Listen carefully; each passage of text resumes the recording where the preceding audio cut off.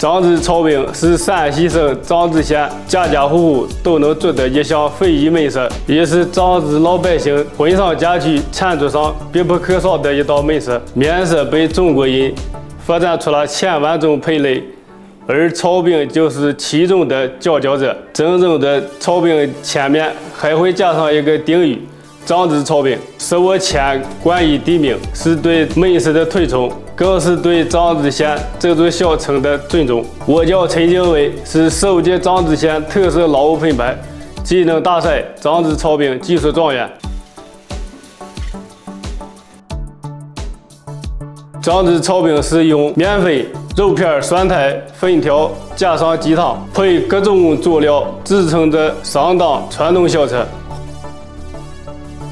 和面、肉团、干片、烙饼、起司、捣鸡、配料、烹炒，每一项对于厨师来讲都是需要一年又一年在实践中不断的历练出来。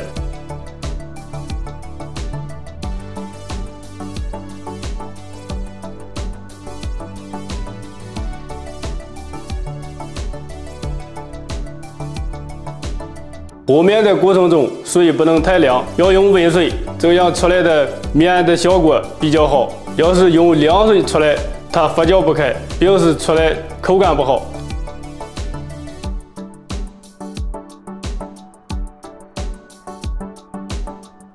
时间和火候是张子炒饼春吃留香的关键因素。和面烙饼到炒出来这个时间需要半个小时。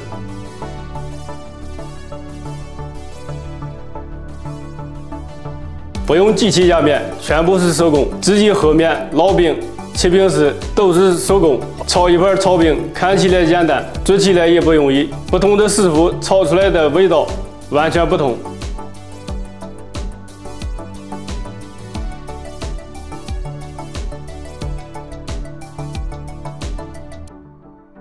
我从十八岁就开始做炒饼，到今天做了有二十多年。二十多年来，我只做这道菜，光在这家饭店就做了八年。